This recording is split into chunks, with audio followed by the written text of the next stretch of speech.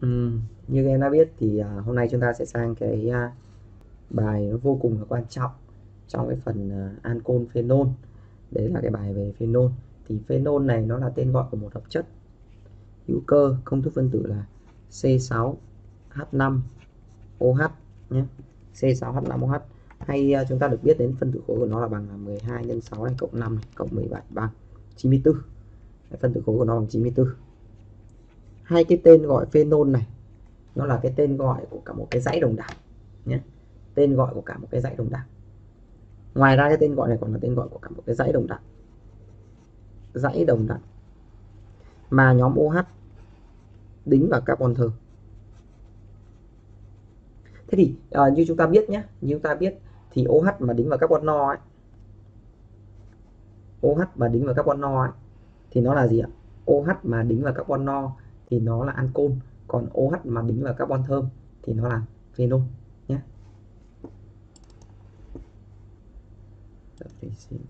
Hình ảnh nó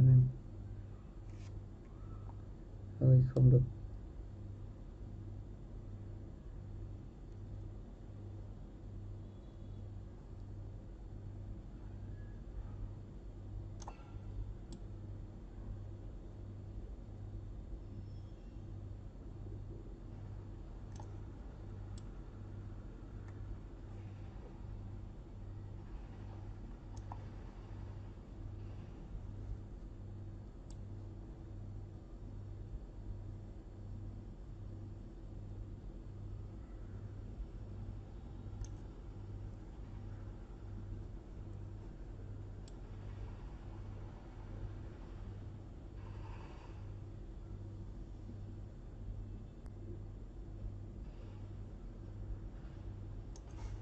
Này, như vậy ổn hơn, đúng không?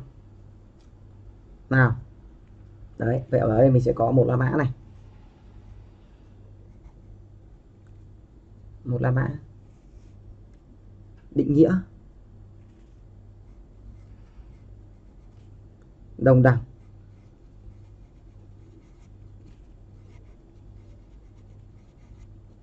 Thì phenol là ngoài cái thằng là công thức phân tử C6H5OH là chất có tên gọi là phenol đây thì phenol còn được định nghĩa là cái dãy đồng đẳng màu hắt đính vào carbon. Thơm, như thầy đã nhắc ở bên trên. Đấy, thì cái thằng này mình chỉ cần nhớ vậy thôi.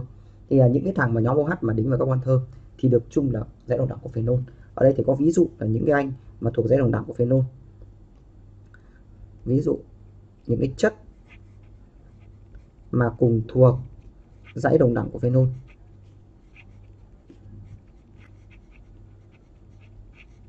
Những cái chất cùng thuộc dạng đồng của phenol là hoắt đính vào vòng carbon thơm. Đây ạ. Đứng đầu tiên là dạng đồng đẳng là phenol. Ngay cạnh phenol đây là anh này. CH3 OH tương tự. Mình có C2H5 OH được chưa vậy là cái thằng này, này thì không thuộc dãy đồng đẳng của phenol nhé đây. Ví dụ như anh này thì không thuộc dãy đồng đẳng phenol. CH2OH được chưa? Anh này là OH đính vào carbon no. Thì anh này là thuộc dãy đồng đẳng của ancol nhé đây là thuộc dãy đồng đẳng của ancol. Đồng đẳng của ancol. Chứ không phải là phenol. Được chưa? Mình sang hai la mã tính chất vật lý. Hai la mã tính chất vật lý. Phenol có những tính chất vật lý như thế nào? Thứ nhất là phenol thì tồn tại ở điều kiện thường nhé là thể rắn. Tồn tại ở điều kiện thường thể rắn. Tồn tại ở điều kiện thường thể rắn.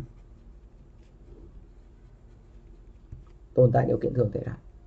Được chưa? Chất rắn màu trắng. Không tan trong nước lạnh và tan nhiều trong nước nóng. Không tan trong nước lạnh. Không tan trong nước lạnh.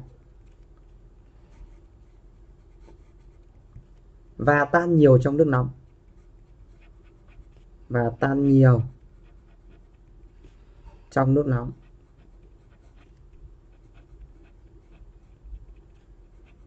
Nhớ nhá không tan trong nước lạnh và tan nhiều trong nước nóng là một chất độc. Khi tiếp xúc với lại cơ thể người thì sẽ gây bỏng. Tiếp xúc với cơ thể người. Tiếp xúc với cơ thể người thì sẽ gây bỏng. Nhớ chưa? Đấy chúng ta phải nhớ những cái thành phenol này.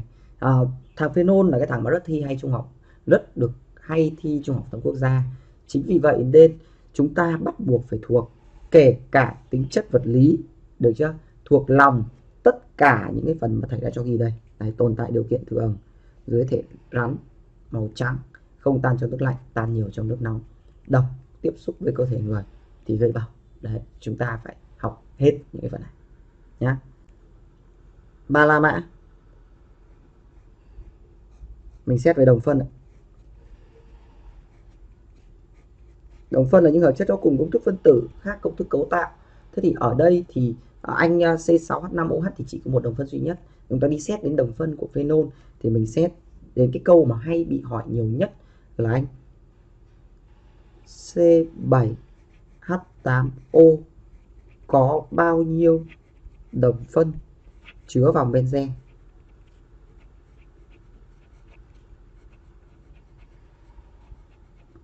C7H8O có bao nhiêu đồng phân chứa vòng benzen? Có này C7H8O có bao nhiêu đồng phân chứa vòng benzen? Cái câu này rất nhiều bạn bị sai.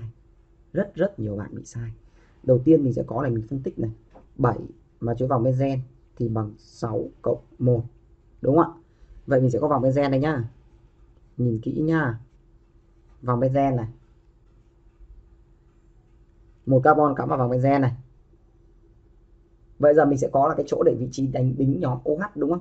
OH có thể đính vào carbon là vị trí số 1 anh này có trục đối xứng. Đính vào nhánh này là vị trí số 2 này. Đính vào nhánh này là vị trí số 3 này.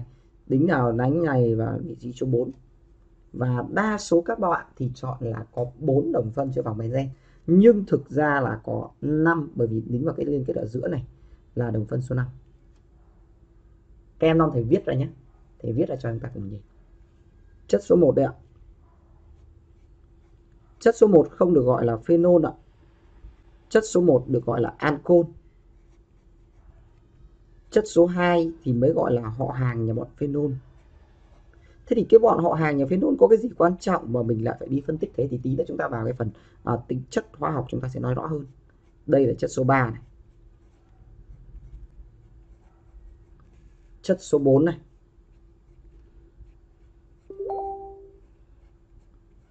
Chất số 4 này. Chất số 5 này. Chất số 5 là chất mà chúng ta quan tâm nhiều nhất, đúng không? Đây là chất số 5 này. O CH3 được chưa? Cả nhà nhìn rõ chưa? Đấy nhá, vậy chúng ta có 5 chất. Thế vậy bây giờ nếu mà thầy sửa cái câu hỏi là thành C7H8O có bao nhiêu đồng phân nhé thuộc dãy đồng đẳng phenol, thuộc dãy đồng đẳng phenol thì câu trả lời của các em là bao nhiêu ạ? Bao nhiêu đồng phân thuộc dãy đồng đẳng của phenol thì câu trả lời của chúng ta là bao nhiêu ạ? Đúng, chính xác luôn. Thuộc dãy đồng đẳng của phenol thì chúng ta phải nhớ rằng nó có vòng benzen và OH phải đính vào carbon thơm. Vậy đây này, đây là một, đây là hai và đây là ba. đấy chưa? Thế thì cái thằng mà đồng đẳng của phenol đấy nó có gì đặc biệt vậy mà chúng ta lại phải quan tâm và quan sát sát sao trên nó thì bây giờ mình sẽ sang phần tiếp theo phần 4 la mã phần tính chất hóa học nhé 4 la mã tính chất hóa học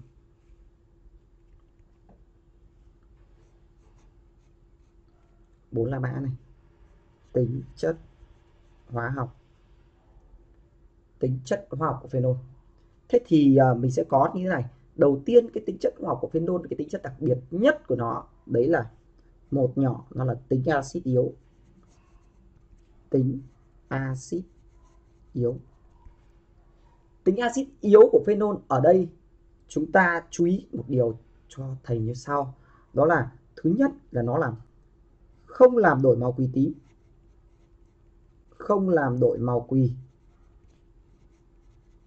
Thế nó không làm đổi màu quỳ, vậy làm sao phải biết nó có tính axit ạ? À tại vì là nó có cái phản ứng mà tác dụng với dung dịch NaOH các lưu ý nha, cái phản ứng này nó khác biệt so với ancol. Ancol thì không có tác dụng với NaOH nhưng phenol thì có tác dụng với NaOH chúng ta có phương trình như sau. C6 H5 OH tác dụng với NaOH thì tạo thành C6 H5 ONA cộng với H2O. Được chưa? C6H5OH cộng NaOH để tạo thành C6H5ONA cộng với lại H2O. Ok. Hiểu chưa? Thế thì cái phản ứng này nó xảy ra như thế này này. Anh C6H5 này, đầu tiên nó phải phân tích thí nghiệm nhé. Đầu tiên này, anh C6H5 này ở bên trong ống nghiệm. Anh C6H5 ở bên trong ống nghiệm. Được chưa? Đây là dung dịch này. Đây là dung dịch này. Được chưa? Thế ở đây là thầy có một cái lớp anh này đây là đây là chất kết tủa ở đây. C6H5 là chất kết tủa ở dưới này. C6H5OH là chất kết tủa dưới này. đấy chưa? Bên trên là dung dịch nước. Đấy là nó phân lớp với nước. Xong bây giờ thầy bắt đầu thầy nhỏ từ từ NaOH vào. Thầy nhỏ từ từ NaOH vào. Khi mà nhỏ từ từ NaOH vào, xong rồi nguấy lên ạ, thì C6H5 sẽ tác dụng với NaOH phản ứng xảy ra, để tạo thành C6H5 ONA cộng nước thằng này tan. Nhớ nhá C6H5ONA là muối nhá, anh này là muối natri phenolat muối natri phenolat và anh này bị tan nhá. Vậy suy ra này, hiện tượng này đầu tiên là có kết tủa màu trắng nhé sau đó cho NaOH vào thì kết tủa bị tan ra được chưa? Nguấy nguấy lên là kết tủa tan này. Cả nhà nhớ chưa? Đây, hiện tượng. Những hiện tượng này rất quan trọng. Hiện tượng là nhỏ.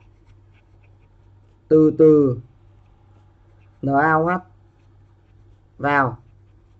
Thì kết tủa tan tạo thành dung dịch natri phenolat dung dịch không màu thế điều gì xảy ra nếu thầy sục nếu thầy sục cái thằng CO2 vào đây ạ? Nhá, bây giờ thầy biến bước số 2 là thầy sục CO2 vào dung dịch natri phenolat sục CO2 vào dung dịch natri phenolat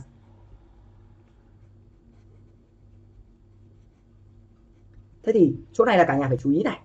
Cái tính axit yếu của anh phenol, cái tính axit yếu của anh phenol này là nó còn yếu hơn cả H2CO3 H2CO3 là cái dạng của thằng CO2 tan trong nước.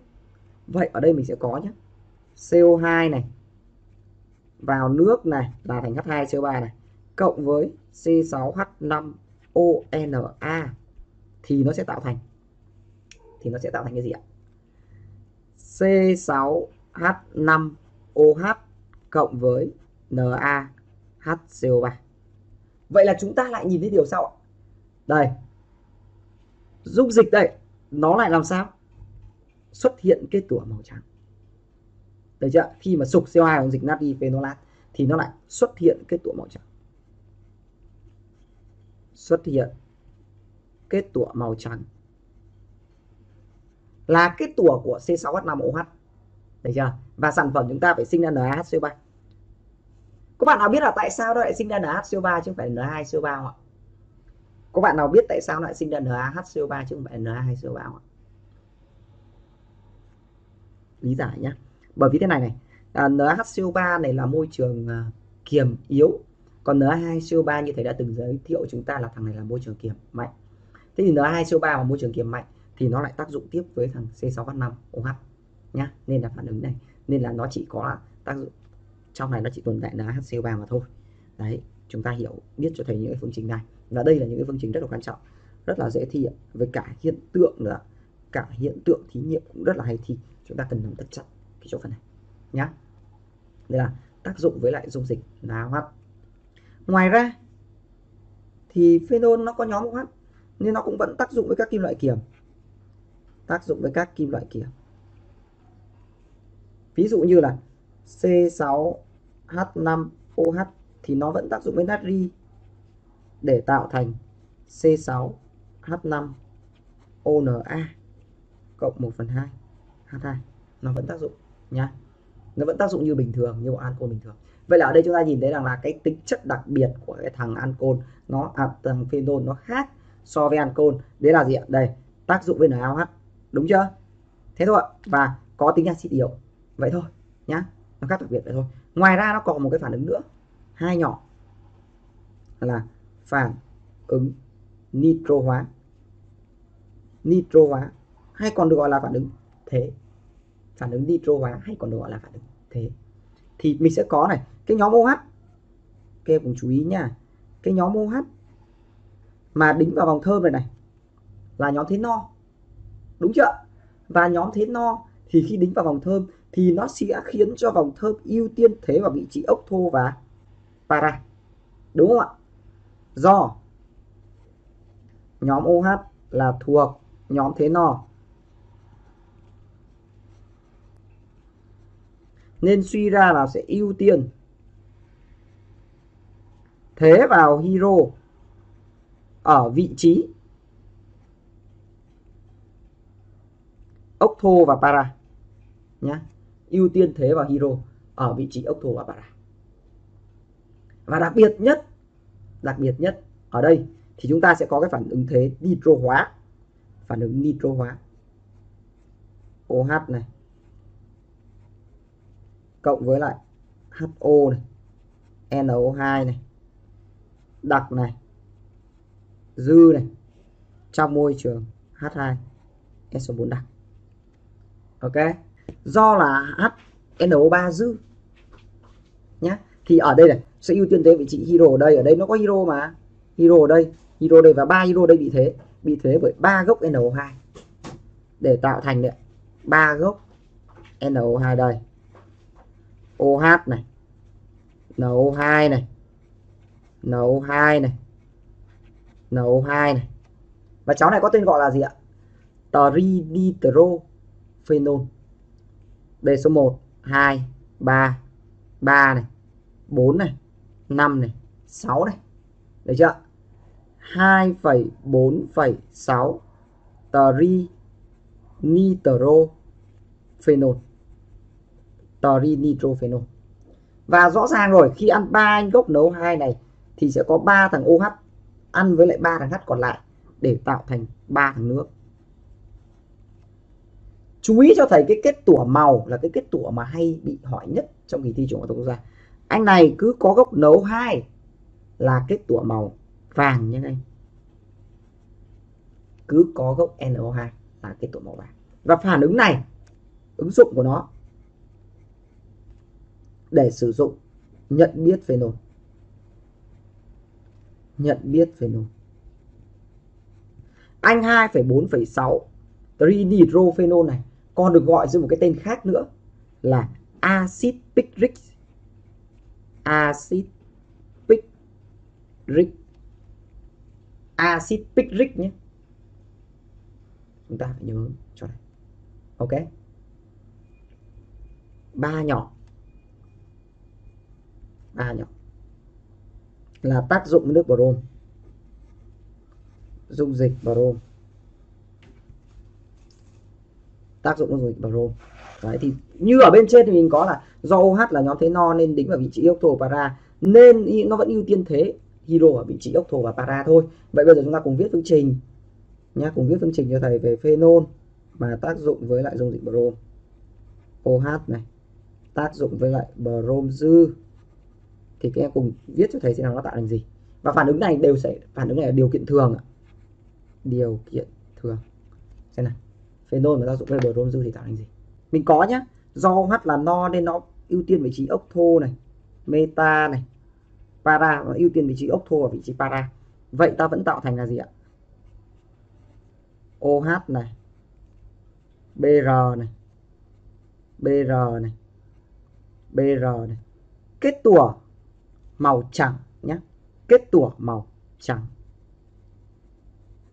và tên gọi của cháu nó là 2,4,6 tri nitro sorry không phải tri brom phenol.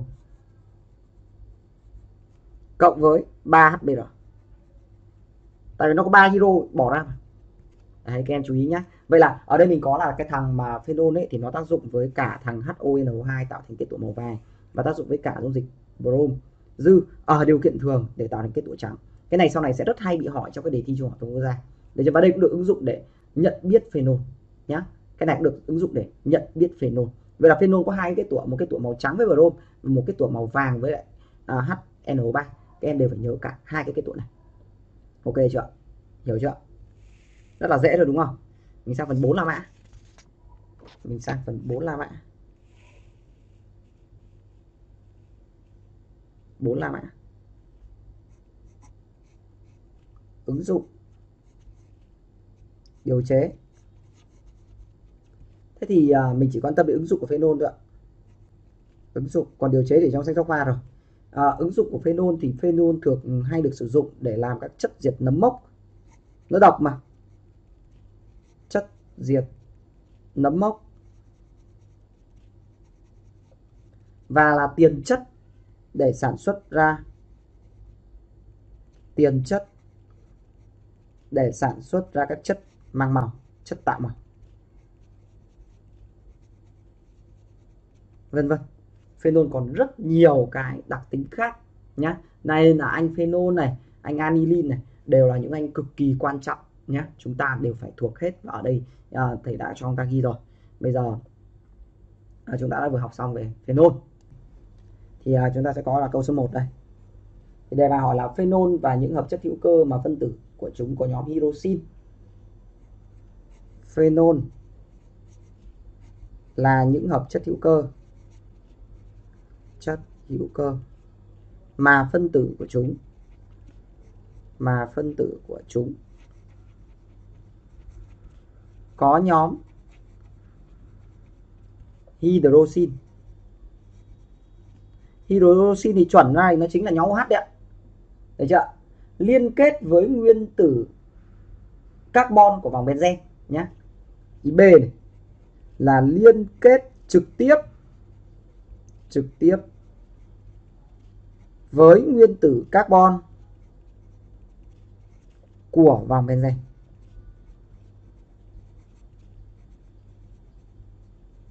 Liên kết trực tiếp với nguyên tử carbon của vòng benzen ok chưa đấy nhá chúng ta phải nhớ câu đấy nhá. Câu số 2 câu số 2 câu hỏi của câu số 2 thì bài hỏi là số đồng phân thơm. Đồng phân thơm. Đồng phân thơm thì tương đương với việc là nó phải có chứa cái gì ạ? Nó phải có chứa vòng benzen nhá. Đồng phân thơm thì nó phải có chứa vòng benzen. À, có cùng công thức phân tử là C7H8O mà lại tác dụng được với natri vừa tác dụng được với natri mà vừa tác dụng được với cả NaOH thế đây chúng ta lưu ý này. Chúng ta lưu ý này. Thế thì đồng phân thơm C7H8O vậy điều này tương đương với nhé là nó có vòng benzen. Tác dụng với natri là phải có nhóm OH tác dụng với NaOH thì phải có nhóm OH đính vào vòng thơm.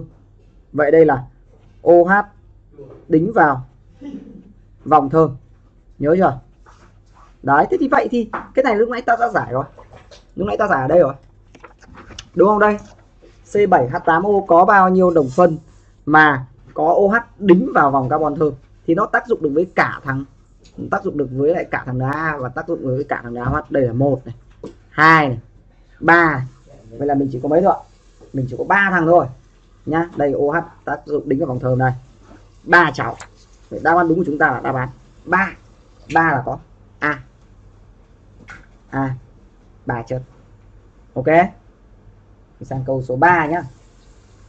Câu số 3 câu số 3 cho hợp chất hữu cơ X có công thức phân tử C6H6O2 C6H6O2 biết X tác dụng với cao hát theo tỷ lệ mol 1 chia 2 cao KOH 1 chia 2 thế thì tác dụng với KOH này theo tỷ lệ là 1 chia 2 vậy thì tương đương với việc tương đương với việc là cái thằng chất X này có hai nhóm OH hai nhóm OH đính trực tiếp vào vòng carbon thơm đính trực tiếp vào vòng benzen à, vậy là suy ra bây giờ mình đi tìm thì mình chỉ cần đi tìm là cái thằng mà à, có vòng benzen và có hai nhóm H đính trực tiếp vào vòng benzen thôi. Vậy ở đây ta sẽ có đây. Đây ạ. Hai nhóm H nhé đây thì phải cắm một nhóm H này trước. Thế còn nhóm H còn lại thì cho chạy. Được không? Vậy đây là một hai ba. Được chưa?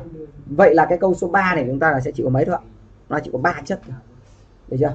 Có ba chất vậy thì đáp án đúng của chúng ta là đáp án C. Ba chất. Được chưa? Đáp án đúng chúng ta là đáp án C. Ba chất nhá.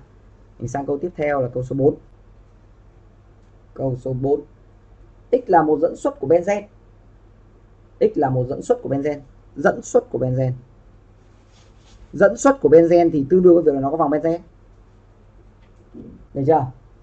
Không phản ứng với NaOH. Không tác dụng với NaOH. Tác dụng với NaOH. Và có công thức phân tử là H8O thế thì cái không tác dụng với NaOH này thì tương đương với là nhóm OH là không đính vào carbon thơm. Không đính vào carbon thơm. Được chưa? Đấy nhá. Không tác dụng với NaOH thì tương đương với lại nhóm OH không đính vào carbon thơm. Ok chưa? Thế vậy ở đây mình có này. OH mà không đính vào carbon thơm và lại có công thức phân tử là C7H8O vậy hoàn toàn ở đây ta sẽ có. C7H8O nhé mà OH lại không đính vào carbon thơm. Vậy mình chỉ có này, đây là O này CH3 là một cháu này, cháu thứ hai. Cháu thứ hai đây là CH2 OH là cháu thứ hai. Chúng ta chỉ có hai cháu thôi được chưa? Chúng ta chỉ có hai cháu thôi. Vậy thì cái câu số 4 này, đáp án đúng của chúng ta là đáp án A có hai đồng phân. A, hai đồng phân. Ok? Câu số 5 mình sang câu số 5 câu số 5 nhá. Cho các chất, cặp chất là đồng đẳng của nhau là, đây để bài cho ta các chất sau đây.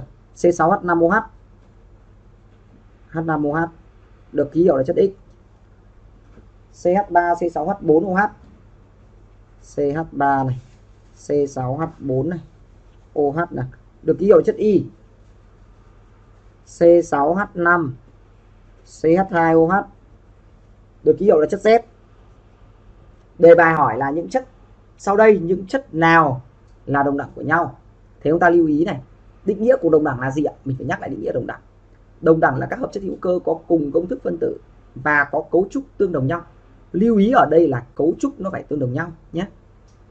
Vậy mình viết cái cấu trúc thằng x ra. Vẽ cái cấu trúc ra mình mới nhìn thấy được. Đây anh x đây. OH cắm đây. Vậy nó chính là phenol anh y đây ạ. Anh y đây. CH3 OH đính vào đây. Đính vào đâu trong ba vị trí này đều được. Thì mình nhìn thì thấy này, anh X và anh Y thì đều có nhóm H đính vào vòng carbon thôi anh Z đây. Anh Z đây. CH2OH anh Z là OH đính vào carbon. No vậy điều này chứng tỏ là chỉ có X và Y là thuộc cùng dãy đồng đẳng của nhau và XY là cùng thuộc dãy đồng đẳng phenol được chưa? Vậy với câu số 5 thì mình có đáp án đúng, mình là đáp án A, X và Y. X và Y. Ok chưa? Ok chưa? Nào. Bây giờ làm tiếp cho thầy câu tiếp theo. 6 7 8 9 10 6 7 8 9 10 đều là các câu à, về lý thuyết. Đúng không? Thầy chữa sau đi.